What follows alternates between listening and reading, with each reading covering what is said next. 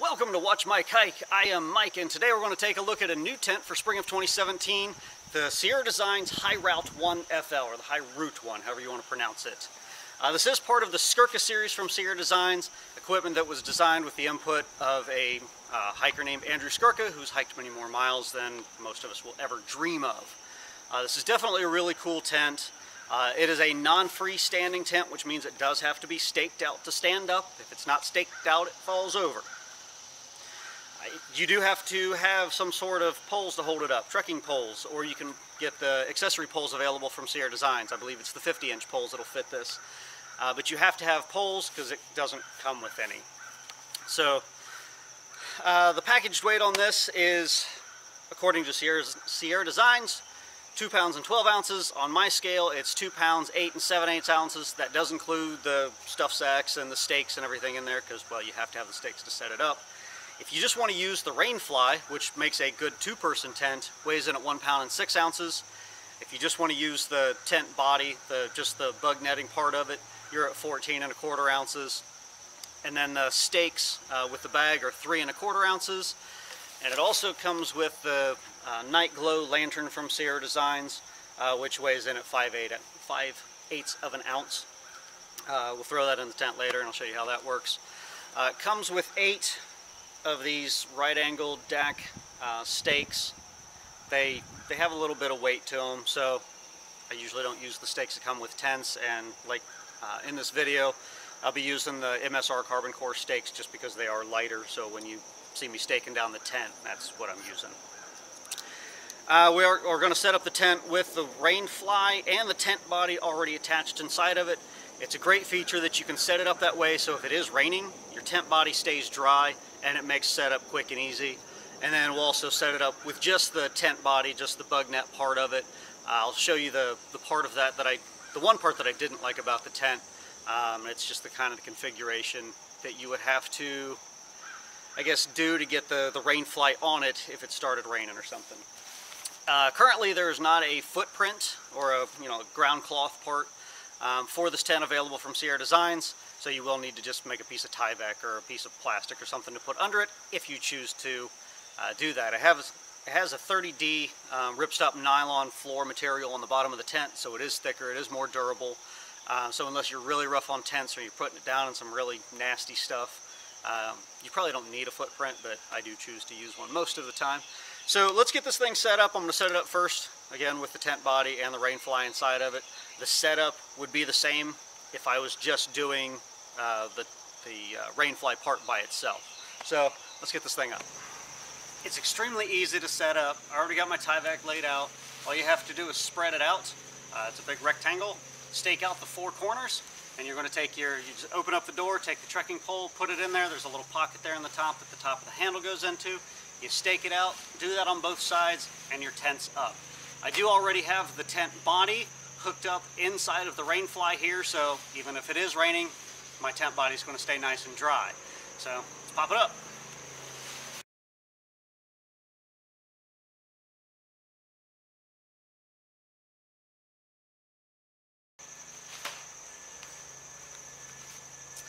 Alright, so there's the four corners. That was quick and easy enough. Now all you're going to do is unzip the door. It is easier to have the buckle clipped at the bottom. I'll show you that buckle here in a second. Uh, leave that clipped, zip the uh, door up, stick your handle in there, and extend it to make all that fabric and everything there nice and tight. And zip the door back up, guy it out, and your tent's done.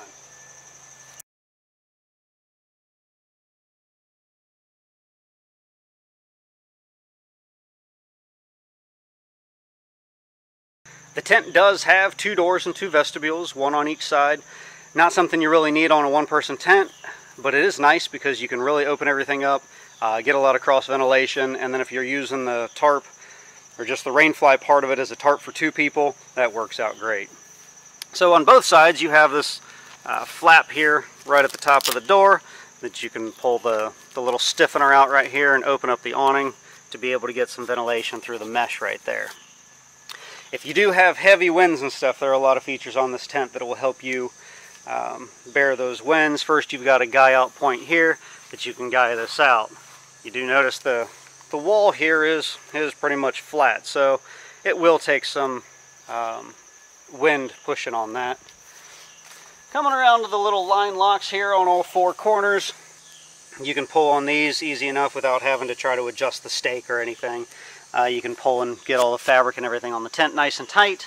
Same as the guy line coming off the peak right there. I do find that it's easy, or I guess better if your line is coming off uh, at an angle here with the, the uh, peak line or the roof line there. Uh, one, it gets it out of the way of the door and then just puts better tension up across uh, that, that line. And then you've got a, a line tensioner on here, which makes tensioning that up really easily. I'm going to switch around to the other side.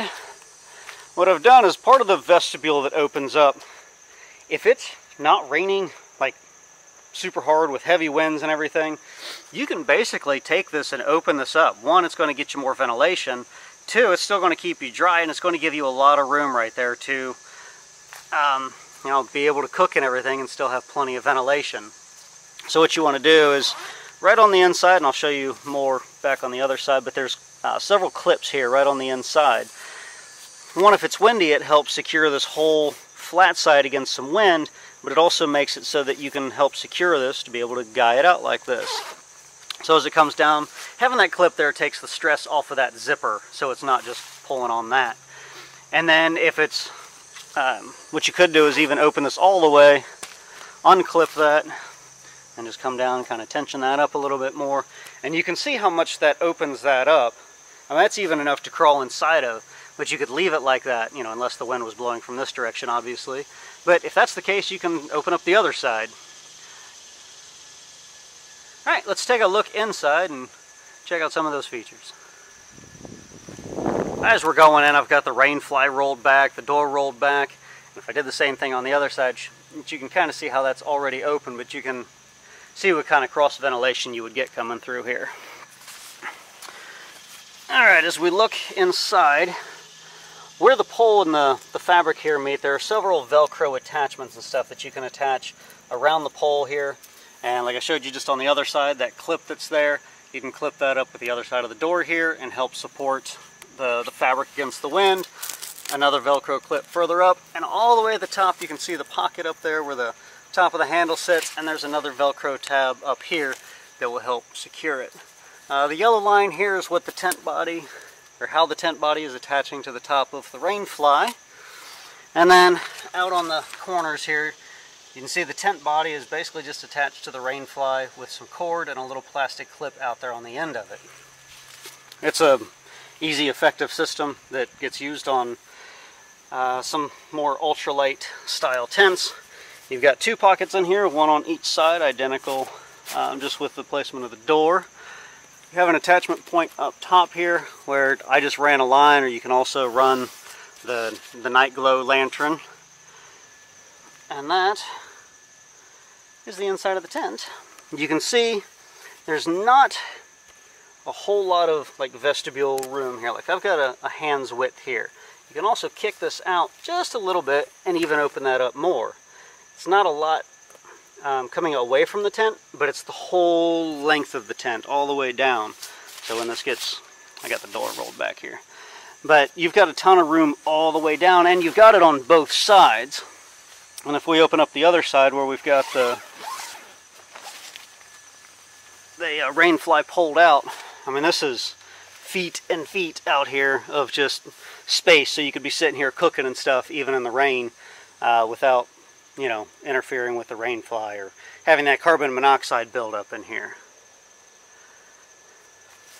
Alright, so let's uh, set just the tent body up without the rainfly. But before we set that up, I'm going to show you this night glow lantern before I forget. Let's see if we can do this like this. Alright, so the night glow lantern hangs from the line here. Over on this side, there's a, a line tensioner so you can put tension on it and get it up against the top of your tent. The gray part, the top part here, has a, a little bit of a foam stiffener in it. Also has the channel here that the line runs through so you can move this back and forth across the line wherever you want it. Uh, it's just a bungee cord with a uh, barrel lock here on the end of it. And all you do is take your headlamp, turn your headlamp on, stick it up in here and it shines off the, the white material on top of it. Cinch it shut and well, you can tuck all this up there if you want to. And now you have a lantern that diffuses the light and just kind of gives that nice even light across your whole tent. That is the Night Glow Lantern from Sierra Designs. It's uh, It comes with several of their tents, including this one, and you can buy it as an accessory too. Alright, let's set up the tent body. So if you're not expecting rain, but you still want protection from the bugs, you can set up just the tent body. Uh, setup's going to be the same thing as it was with the, the whole rain fly and everything, where you stake out the four corners and you put the poles in, except this time the poles go this way. So let's set it up real quick.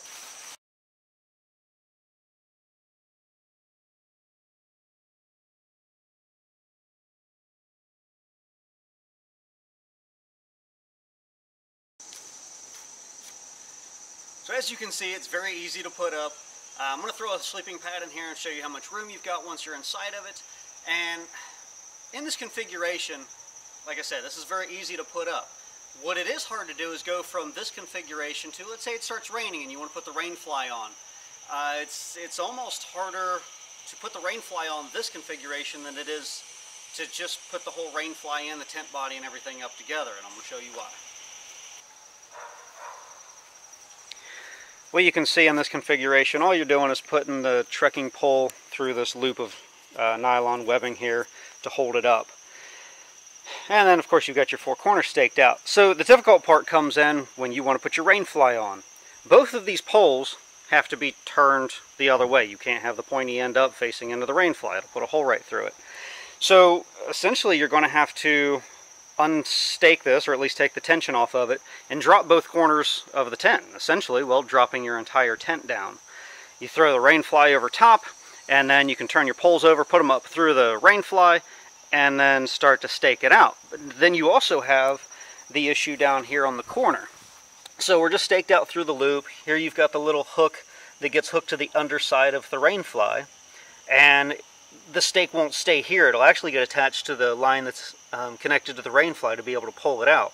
So not only do you have to take the, the poles, flip them over, basically dropping your entire tent, and then coming out and attaching these four points to the four corners, pulling your stakes, and staking those all the way out um, on the rainfly. All in all, it's probably one of the most difficult rainflies to put on on any tent. But the way I prefer to use the tent is with the rainfly always on it, and then um, just rolling up the sides because you get tons of ventilation and uh, cross flow because like I said you've got your two doors uh, one on each side and the, the rainfly has the same thing. So uh, yeah it's just a pain in the butt. So I have a regular size sleeping pad in here so you can see how much room there is. I think we're all the way you know we're pretty much all the way down to the, the foot end here. This is a regular size pad it will accommodate a large pad in here I pushed it all the way to one end just so you could see how much room you would have on that side, but if you center it up, it gives you plenty of room on each side. Now, what you do have to look for is how steep the sidewall is right here, so when you're laying down and you go to sit up, um, you know, I, I miss it, but depending on how far you are pushed all the way to one end, you know, the end of your sleeping bag or, you know, your head might hit the side of the mesh netting and everything here when you set up. But I have plenty of room in here to be able to lay down, even stretch out. I still, you know, I still have a hand's worth of clearance here as I'm, I'm sitting up and laying down. And easy enough to stretch out. And plenty of room on the sides, and as you saw earlier, the vestibule room, so you got uh, plenty of room to spread your stuff out here. I like it.